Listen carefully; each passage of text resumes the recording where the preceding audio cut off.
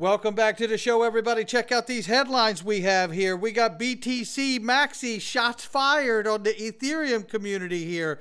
Jay Clayton on stablecoins, you won't believe it. Markus Infanger from Ripple and tokenization on the XRP ledger, you're going to love it. Brad Garlinghouse, $10 trillion market. And uh oh, Ripple is hiring and it smells like an XRP ETF. We got that and so much more. Somebody roll that beautiful intro.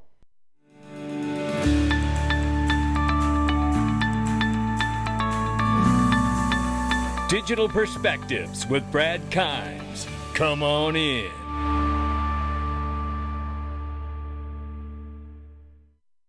Welcome back to the show. You can follow us on Twitter and YouTube for exclusive content. Right now, $1.69 trillion market cap for KIP crypto, and the market is up 1.6%, 41,700 plus for Bitcoin, 2,200 plus for Ethereum. We see 96 point plus 96 billion plus uh, market cap for Tether, and XRP at 52 cents, up 1.9 on the 24 hour, off by 3.6 on the seven day. Range of price right now between 51 and 53 cents. We'll keep an eye on it. Let's get started, ladies and gentlemen. The countdown is on. We're less than 100 days till XRP Las Vegas 2024.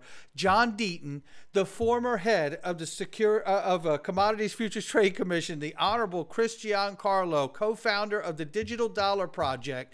Michael Arrington is going to be at the benefit dinner. Brad Garlinghouse is going to be at the benefit dinner. Eleanor Terrett going to be on stage. Uphold's going to be on stage. David Schwartz is going to be on stage. The list continues. The CEO of uphold. I mean, listen, so many people are going to be here, and the list is growing. And I'm telling you, we've got something coming that you're not even seen yet. But one thing you need to do is to get your ticket.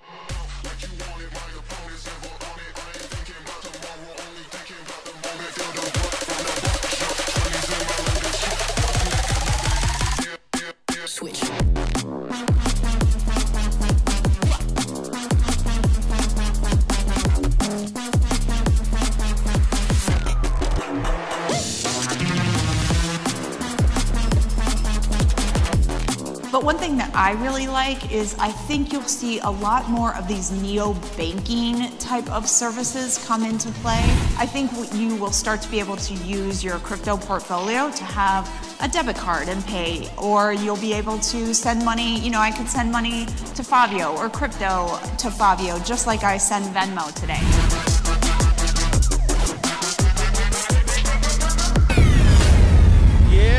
And Fabio is going to be there with Sologenic. We're so excited to have them. They just recently came on. I tell you, the lists are growing. Go to xrplasvegas.com to see all the new people that have signed on in companies.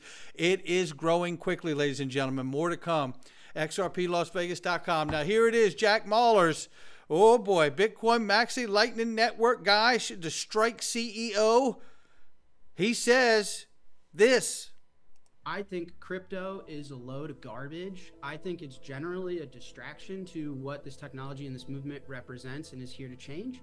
And so, how the world is going to sort out the fact that some kid named Vitalik Buterin printed a lot of coins in his basement and then pre-sold them to people and has been promising all sorts of crazy things that have never happened. I don't know. Is that a security? But I, I guess the point is I don't care.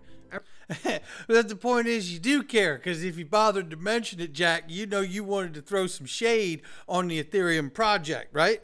Because at the end of the day, Jack's not wrong on this measure. Jack is right. He's talking about ETHGate and the free pass that it got. Very real very real. You know, you have a lot of people out here that have tried to create a false narrative that, uh, you know, this the reason that XRP Ledger is not successful because we haven't had the grassroots adoption from the bottom up. And I think that's a false narrative. And I'll show you why I think it's a false narrative. It's not just because I disagree with the others that believe that, it's because I believe that they miss what it is. Ethereum has taken off, and there's tons of projects built off of Ethereum. Well, there was a time when uh, XRP was in the number two spot and was ahead before the case. Might even been the reason for the case against Ripple and XRP. But the reality is, is that the reason that there were so many builders and projects on top of the ETH network isn't because it was such a stellar network. And I know that it's got a smart contract feature that is really unique to itself, and that's wonderful and that's great. I'm not diminishing that. But what I am saying is, is the real reason that adoption took place on Ethereum is because it got a free pass. So let's just hold all of that for a second until we find out what real clarity looks like for this digital asset space.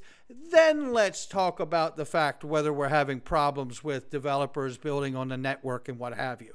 I got a sneaky suspicion once we get legal clarity that's not a free pass, but it is legal clarity for the entire space I don't think we're going to have any problem finding developers because they, they flock to where they believe they're going to have the safest place to build. And that's exactly what they did with Ethereum, right? So, but obviously that was done with a free pass. So we'll see.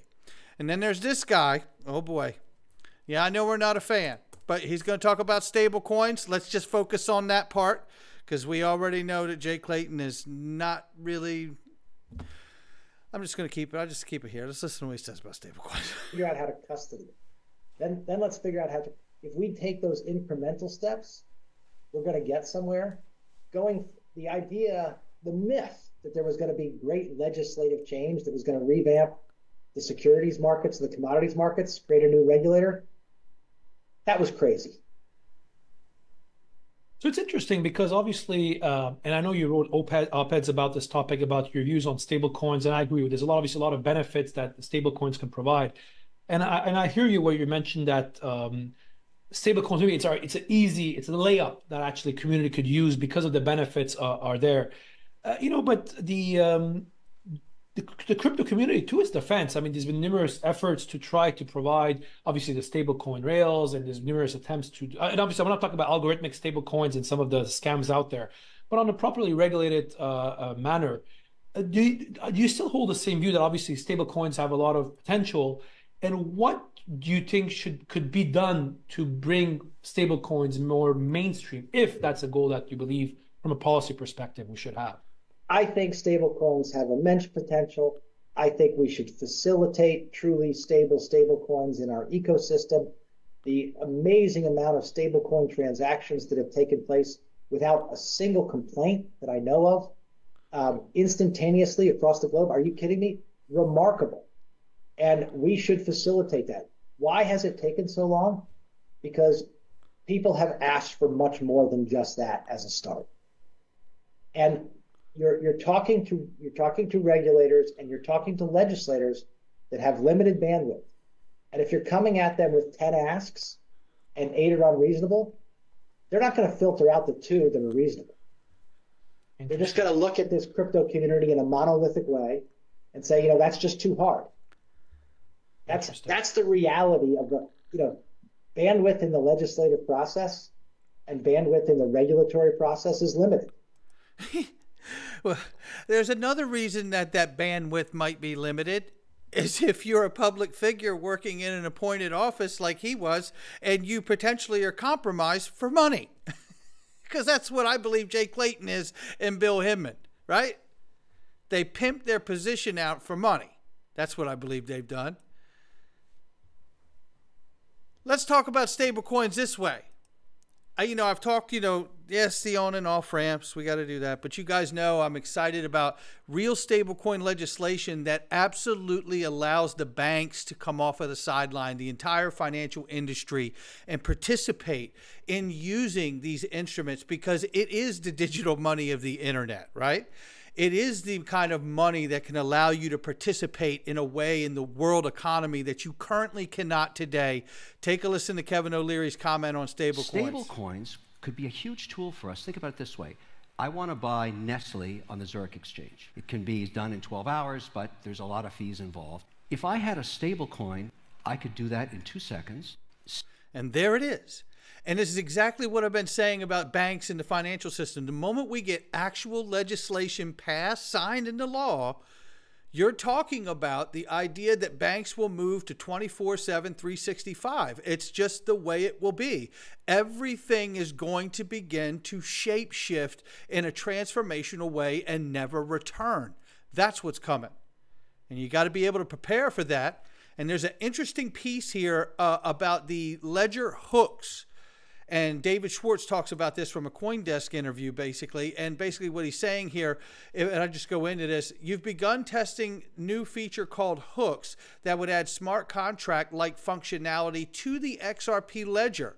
What is the roadmap on that feature, and how big of a deal is that for you all? Now, I want to quickly remind everybody that we have over 80% vote right now for the clawback amendment. If that holds for two weeks, that will move to the ledger. Then there's also uh, the um, the other amendment, which is automated market makers that we're waiting on and very exciting. Now, we're not there yet. That's at 60%, I believe it is at this point. So, getting very exciting for that. But let's read on here about hooks. David Schwartz asks, you know, we had very little to do with the team building hooks, which was we'd say when, right?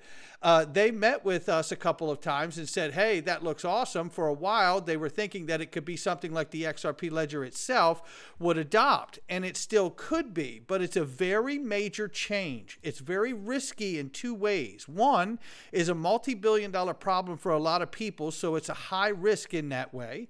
And the other way is just that we want the XRP ledger to be great for payments, and it could make it more like more Ethereum like. They launched their own network using XRP Ledger's technology, and they're going to see how well that works. But if they prove that it works very well and it doesn't degrade the network for other uses, then you could see in a year or two a proposal to add it to the XRP Ledger mainnet. That's the right way to go, right?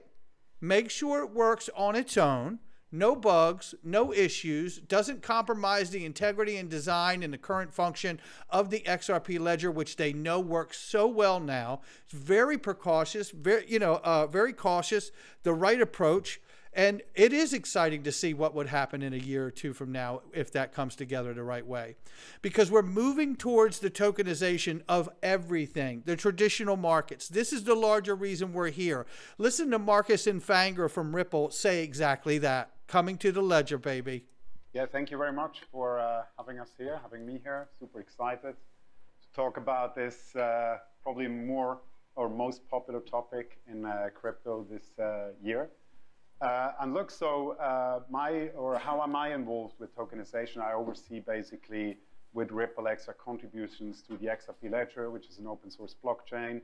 Uh, and tokenization of real world assets has been definitely one of the key areas for us in terms of like, you know, building more native primitives to allow for compliant institutional grade tokenization, signing partnerships um, around this. And so, you know, we're seeing a lot of uh, stable coins, obviously, uh, already as a form of financial instrument represented on the XRP ledger. Uh, and are also seeing a couple of projects around real estate, carbon markets, and now we're really expecting to see this to grow vastly in terms of scope, um, debt assets, securities, private equity, and so forth. Uh, and I would say, like, you know, in terms like a year ago and now, the big difference is, um, you know, it, it, felt like engaging particularly with TradFi in the beginning, maybe more than a year ago, was mostly about like ticking an innovation box and running through some theoretical pilots. And now the conversations are really becoming real and tangible and executable. And so, you know, I, I would say it's fair to say um, that there's there's a lot um, that's going to be happening in terms of like blockchain technology, blockchain related companies, and TradFi working together um, to really move the needle. And that all makes sense because we know Brad Garlinghouse told us not long ago about the 10 trillion that's going to be a market for everybody to tap into. Take a listen. The, the macro environment around custody digital assets uh, is expected to be close to $10 trillion by the year 2030. And it, inevitably, uh, people are going to need a place to store those assets and uh, safe, secure, and they're going to need to be able to transfer them as well, having good on and off ramps. Uh, even a tokenization engine, some of the work Ripple is doing around central bank digital currencies or CBDCs. So we think the, there's a lot of pieces that uh, come together, and we already had, and I remember when you and I first spoke, uh, you know, I remember being on a, a, call with one of the largest top 10 banks in the world. And listen to this a, a, a bank Ripple was already working with, and they were asking mm. us about could we help them with their custody. This is prior to the Metaco acquisition. And we weren't in a position to do that. And so when we think about that synergy, the ability to say to that existing Ripple customer, hey, you know, here's a, a best in class, you know, going head to head time and time again and winning uh, on the custody uh, level, you know, to be able to bring that product to them, I think is a great opportunity for the, the two companies together. So, uh, there you have it. Now he's talking about custody towards the end of that, which is interesting to me because this just happened. Ripple hires a senior manager for business development in New York with a key role related to ETFs. Oh boy. Here it is. Institutional DeFi, development of, right? And there it is. What you'll do you see it right here. Drive cryptocurrency re- currencies related ETFs initiatives with internal trading team and relevant partners. Uh-huh. We love that. Now, to the point that Eleanor made uh, is is also a point that James Seyffart has made, and I think is a valid point here. Um, as history has shown in the natural progression of introducing a spot uh, crypto ETF, you normally will have future ETFs first. So if XRP gets futures ETFs, then it's a step in the right direction to one day getting a spot. And I think that's the way to see it right there. Now let's take a look at these numbers very quickly here. EGRAG Crypto tells us XRP 21 moving average here, uh, monthly time frame 350, 650, and 27 dollars is what we're looking at. The most complex, uh, the most complex matters needs the simplest solutions. And if you look at this, to kick off the measures moves, I assess the movement of when XRP is positioned either above or on the 21 EMA. So that's why you're looking at the 21 EMA and getting this historical look of the last three times we saw a pump. And when it went to 350, that was a 500% rise. When it, uh, if it goes to 650, it would be a thousand percent rise. And if it were to go to 2,700 bucks, it would be a 4,500% jump. The interesting thing that has been in the history of XRP is that these jumps and rises are not pulled out of thin air. They're pulled from history. These rises, these meteoric rises, are exactly what have happened in 2017, 2018, and again in 2021. That's what we're talking about, or 2020 or 2021, whatever it was there. I know it was close.